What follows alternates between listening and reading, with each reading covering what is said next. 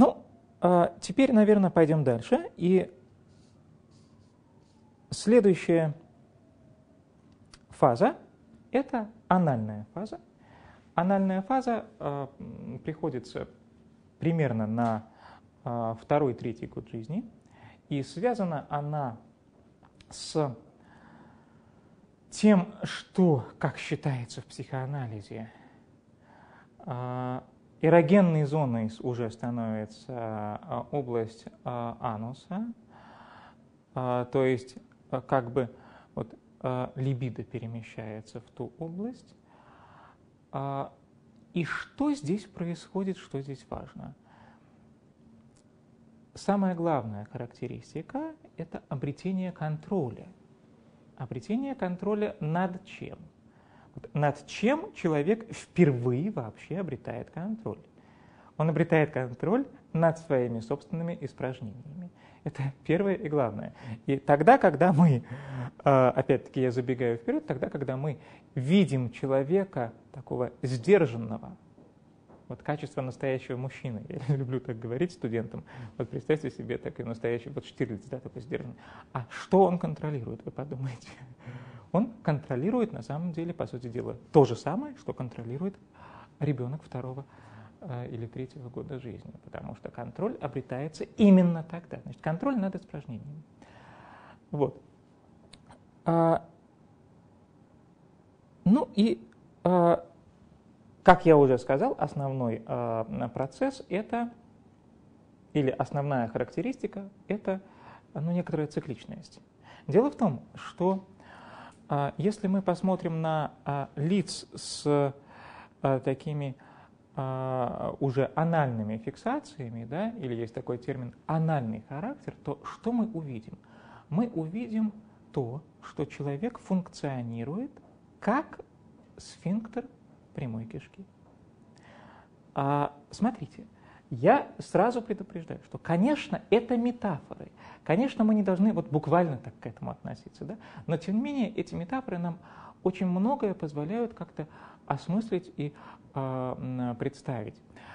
А, вот человек функционирует как сфинктер прямой кишки. А как функционирует сфинктер прямой кишки? А, ну, достаточно просто это представить. А в психоанализе это называется механизмами удерживания и отпускания. Удерживание и отпускание. При том, что это процессы, которые подвержены определенному распорядку. Или они протекают в соответствии с, с определенными правилами да, или с определенным э, циклом. Это циклический процесс. Это циклический процесс. И это означает, что для человека с анальными фиксациями основная проблема, если мы ко взрослому переходим, основная проблема – это проблема контроля над чем угодно, над э, своими испражнениями изначально, да, но на самом деле над э, самыми разными ситуациями.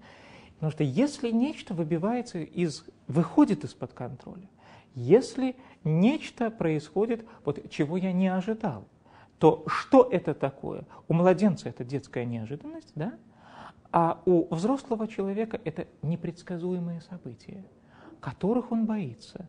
Взрослый человек, страдающий, или, ну, не, не то чтобы страдающий, поскольку все эти фиксации в нас ведь все равно в той или иной степени есть. У каждого, у одного больше, у другого меньше, у одного одни какие-то, у другого другие. Но мы же через все эти стадии все равно прошли. Да? Но э, э, поэтому я не совсем удачно произнес это слово страдающего. Да? Тем не менее, э, когда э, уже речь идет о патологии, да, тогда вот они серьезно проявляются, это уже будет страдание. Ну так вот, если у человека с анальными Э, фиксациями, э, значит, нечто выходит из колеи, да, то у него развивается тревога. А у него а, нечто нарушается. Самое главное для него – это не допустить того, чтобы нечто вдруг произошло, что я не проконтролировал заранее, или то, о чем я не знал заранее. И отсюда мы можем вытащить, на самом деле, как Фрейд это сделал, вытащить, а, по сути дела, все механизмы так называемого обсессивно-компульсивного невроза или невроза навязчивых состояний. Но это уже патология, но то, о чем я сейчас буду говорить, на самом деле, а, на самом деле а, ну, э,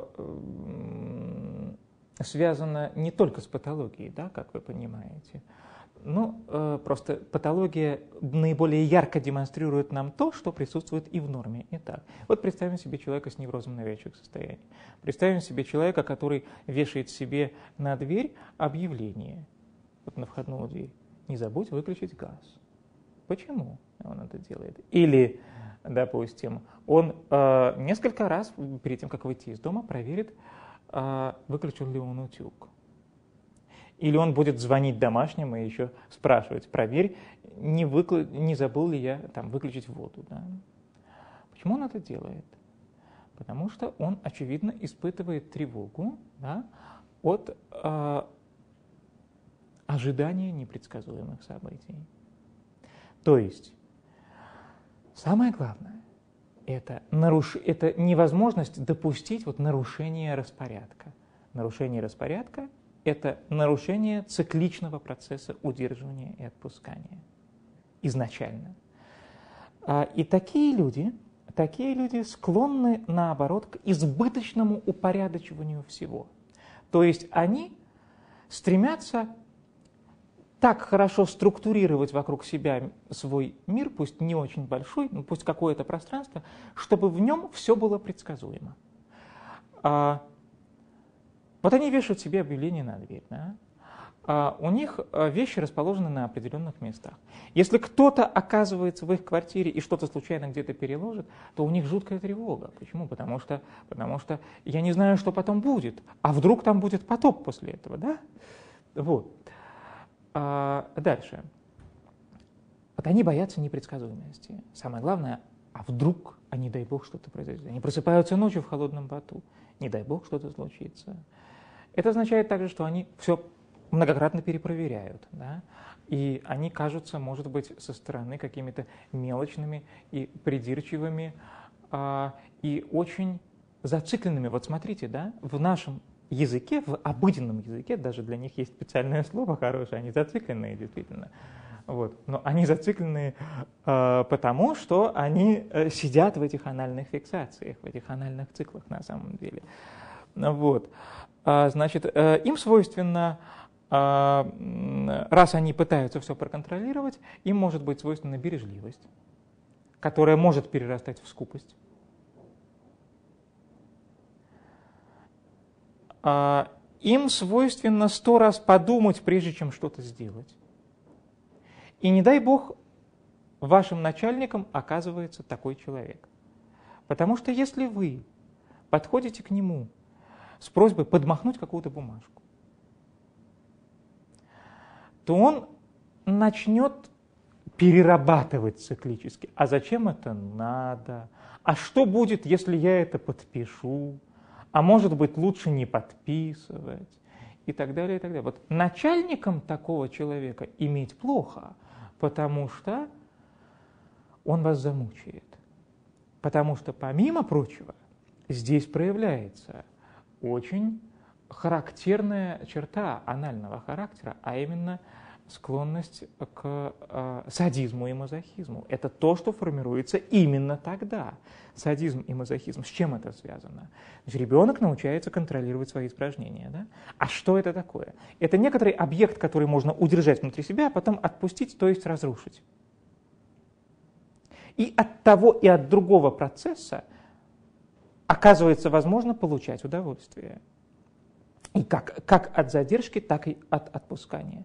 И вот смотрите, люди с анальными фиксациями склонны к задержкам. Ну, к таким задержкам, которые им приносят удовлетворение. Они вот будут э, пережидать э, какое-то время, прежде чем подпишут вам бумагу, если вообще подпишут. Да? А, Причем не обязательно они даже мучиться будут от этого, потому что анальные фиксации проявляются как бы тоже в разных типах характера. Да? Ну вот в частности а, проявляется у так называемых тревожно-мнительных личностей, да? но а, могут проявляться и у так называемых эпилептоидов. Да? Которые тоже структурируют вокруг себя мир, но не от страха, что вдруг что-то произойдет, а просто потому, что это им доставляет удовольствие. И не дай бог вам оказаться тоже, тем более, в подчинении у эпилептоида, потому что эпилептоид а, не допустит никакой активности с вашей стороны, которая а, которая не встроена, не встраивается неконгруентно вот по отношению к данной структуре, которую он создал он не потерпит никаких ваших выходок, не потерпит секундного опоздания, да, и так далее, и так далее, и так далее. А, и, как я уже сказал, вот, ну, как э, э, в случае, если человек будет сам бояться, подпишу, не подпишу, так и в случае, если он просто получает удовольствие от этого. Плохо, если он ваш начальник, и значительно лучше, если он ваш подчиненный. Почему? Потому что Потому что подчиненный с анальными фиксациями выполнит все несколько раз и еще проверит, все ли я сделал, потому что он нигде не знает, он никогда не знает, где остановиться, а, ибо, а, ибо он зациклен. Он будет по много раз перепроверять свою работу, а, ночью проснется в страхе, в холодном поту, и опять будет проверять и так далее. Вот, так что лучше иметь такого человека у себя в подчинении, нежели в начальниках. Ну, дальше. А, какие еще а, признаки вот этих самых анальных фиксаций и анального характера? Упорство. Упорство, которое тоже связано вот с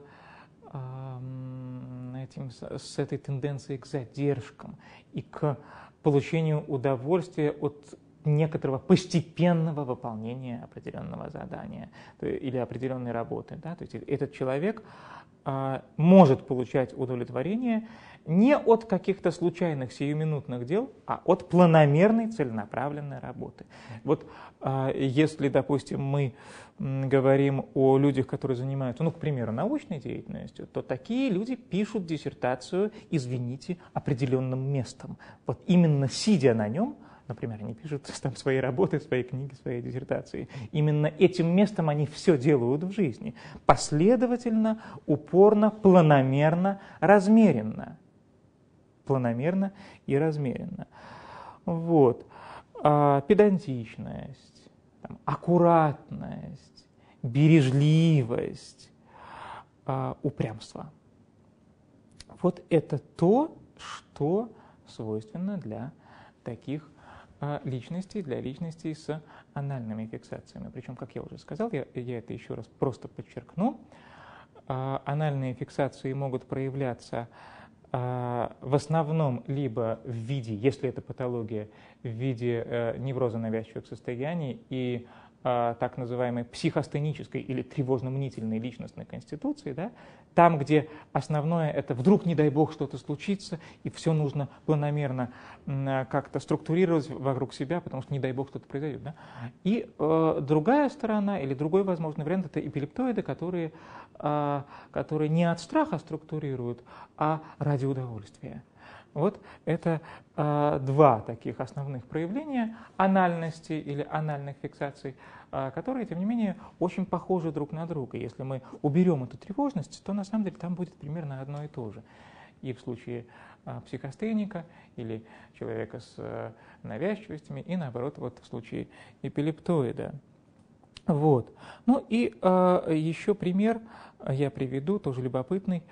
А, э, был э, фильм отечественный, в котором э, фактически были заняты только два актера. А, фильм назывался «Ужин в четыре руки». И а, играли там Казаков и Стеблов. Фильм был посвящен якобы совершившейся встрече Баха и Генделя. Суть заключается в том, что а, когда мы, э, во, всяком случае, вот так, как это показано в фильме, когда мы смотрим на характер Баха и на то, как это проявлялось даже в его музыке, да, то мы что видим? Мы видим заполненность, мы видим гармонию, мы видим цикличность, мы видим то, что как бы все учтено. Нет ничего лишнего и ничего нельзя добавить. И мы можем сказать, вот мы можем а, сделать такой вот, взять на себя грех, да, и сказать, что а, музыка Баха а, напоминает нам, вот нам анальную зацикленность, да. А с Генделем несколько иначе, там а, ситуация другая. А, это а, как раз такая, а, ну что ли, пробивная музыка, музыка более громкая, менее а, так явно четко организованная, что нам будет говорить уже о э, других, если мы переведем это на язык психоанализа, о других фиксациях, а именно о э, фаллических фиксациях. Э, я э, рассказывал об этом специально для того, чтобы пред, предварить наш дальнейший разговор уже о фаллической стадии. Так вот, в чем э, мне интересен оказался этот фильм, есть э, там такая э, сценка, и мы можем это себе представить, а, если мы представляем, как играют казаков и стеблов, а, когда а, Бах, которого Стеблов играет, садится за рояль, а Гендель все умоляет его. Вот, ну, сыграй же ты мне что-нибудь, сыграй, сыграй. Вот Бах, наконец, садится играть. И мы видим, это очень хорошо Казаков передал, мы видим выражение изумления, восхищения и одновременно зависти страшно.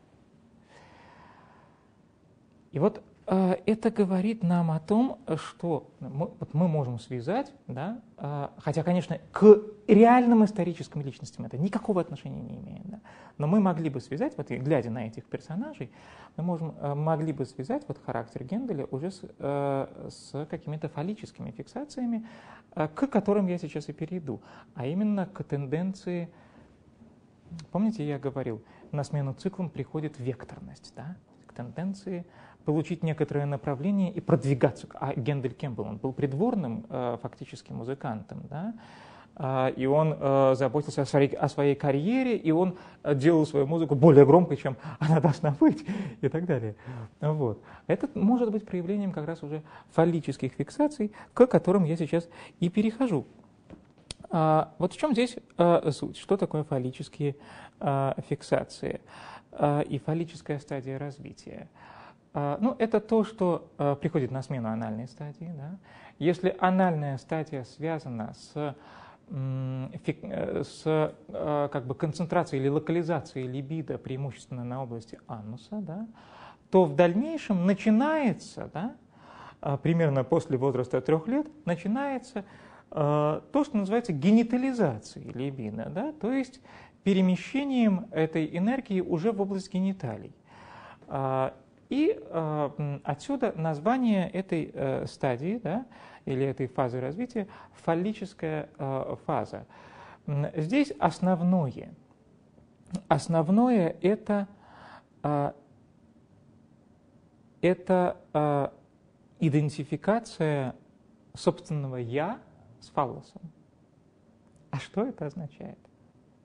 Вот представим себе сначала таких личностей. Личностей с э, фаллическими фиксациями. Что означает идентификация «я» с фаллосом? Это означает, что это люди, которые в буквальном смысле втыкают себя в реальность. То есть это люди пробивные. Это люди, которые не будут вот структурировать вокруг себя мирок и в нем крутиться, да, как лица фиксациями. А это люди, которые стремятся к достижениям. Да? Это люди, которые а, действительно достигают каких-то результатов существенных. А, и ну, в качестве примера это проявляется, например, в отношении к деньгам. Вот смотрите, если я сказал оральный тип да, или оральные механизмы – растратит все, не поймет, что было. Да? Анальные механизмы. Что вы думаете будет происходить? Бережливость, упрямство, скупость, нужно контролировать значит, нужно и деньги тоже контролировать, а это значит, что он их будет копить, да? Он их будет копить и так просто вам не даст. Вот это скупердяи, да? Лица с анальными фиксациями могут оказываться скупердяями. А здесь что происходит? Деньги для чего нужны? Чтобы показать, какой я крутой, чтобы показать, какой я большой, чтобы показать, как меня много, чтобы показать свои нефтяные вышки, которые напрямую являются фаллическими символами, да, и так далее. Там, или какой у меня Мерседес, там, какой марки, и прочее, и прочее. Вот. То есть это люди, которые стремятся быть крутыми. И стремятся не просто показать свою крутость, но и вот вторгнуться в реальность и э, действительно как-то даже ее тем самым разрушить, эту реальность. А, или переструктурировать под себя. Значит, я повторяю, а, оральная несобранность, да, анальные циклы и фаллическая векторность. То есть придание вектора, да, возникновение некоторого вектора, который уже организует деятельность, и там совсем другой характер будет. Это спортсмены, это какие-то политики. А если это больные, то это могут быть параноики, то есть люди, которые э, носятся со своими сверхценными идеями а, или даже бредовыми идеями. Люди, которые очень мощно и жестко противопоставляют себя по отношению к миру, противопоставляют себя по отношению к реальности, воюют с ней а, или в то же время испытывают какой-то страх, страх а, наказания за такой способ взаимодействия с реальностью. А, и вот здесь, внимание, я сказал очень важную фразу. Я сказал страх наказания. Дело в том, что сама по себе фаллическая фаза или вот эта ну, некоторая идентификация «я» с фаллосом, да, а, или э, э, вот это все-таки, а, ну скажем так, только начало генитализации либидо, потому что а, первоначально, первоначально это служит, вот эти механизмы, фаллические механизмы служат скорее для укрупнения себя, вот укрупнение субъекта, а не для того, чтобы э, каким-то образом взаимодействовать с объектами мира. То есть первоначально фаллическая фаза является тоже аутоэротической, она тоже направлена на себя, э, как и предыдущие фазы. Но она перерастает или переходит, или как бы подготовляет почву а, вот она переходит в стадию или фазу идипового конфликта. И мы эти фазы, вот фаллическую и идиповую фазу, мы их не различаем. Все это при, может практически одновременно происходить в период где-то примерно с 3 до 5 или 6 лет. Фаза идипового конфликта. А идипов конфликт, я напоминаю, идипов конфликт а, в, в психоанализе, что это такое? А, это формирование страха кастрации, то есть страха наказания, да, я не случайно сказал наказание, страха наказания за что? За инцестуозное влечение. Почему? Потому что вот та, началась генитализация либидо, а дальше мы вспоминаем историю Эдипа. Фрейд не случайно эту фазу Эдиповой назвал. Да, мы вспоминаем историю а, царя Эдипа, который, а, который убил своего отца и потом а, сожительствовал со своей матерью. Правда, Эдип этого не знал. Да? Он, когда все это делал, он этого не знал, и более того, его же пытались от этого предостеречь всяческими э, средствами, и он же был отлучен, наоборот, специально для того, чтобы это не произошло, для того, чтобы пророчество не сбылось, он был отлучен от родителей. Да? И тем не менее, это однажды произошло. Вот. А, так вот, так вот, как раз Фрейд и э, эту метафору да, уже э, стал использовать для описания данной фазы. Значит, я напоминаю, что мы говорим о фаллической стадии, которая как бы перерастает в этот самый Эдипов конфликт, э, заключающийся в том, что либидо оказывается не просто генитализованным, а оно уже начинает быть направленным на объект. На какой объект? Кем овладеть? Матерью овладеть, естественно овладеть матерью. И отсюда, отсюда то самое детское инцестуозное желание, за которое потом может наступить наказание. И страх этого наказания является страхом кастрации. То есть у мальчиков это страх, э, страх лишиться фалоса, да, в прямом смысле. Но на самом деле это может проявляться, в, если мы говорим о уже каких, как, каких-то вот, фиксациях, да, это может проявляться в самых разных ситуациях. А, а, и а, мы должны понимать, что это только метафора, хотя метафора достаточно красивая. Вот. А у девочек это зависть. Согласно традиционному психоанализу, у девочек это зависть к э, э, тому, что у мальчиков есть, а у них нет. Да? И наоборот, стремление к отцу. Да? Вот то, что характерно для эдиповой фазы. И отсюда, отсюда а, вытекают а, ну, особенности а, уже неврозов, которые связаны, или каких-то даже более легких расстройств, которые связаны с проблемами прохождения данной фазы. Значит, я повторяю, речь идет о фаллической фазе и фазе эдипового конфликта. Вот а, есть а, достаточно характерные неврозы. В первую очередь это истерический невроз. Истерический невроз. Что это такое? А, ну, а, как, наверное, уже понятно, основная проблема истерика – это проблема наказания за инцестуозные влечения. Значит, мальчик к матери, девочка к отцу. И вместе с тем, поскольку эта э, проблема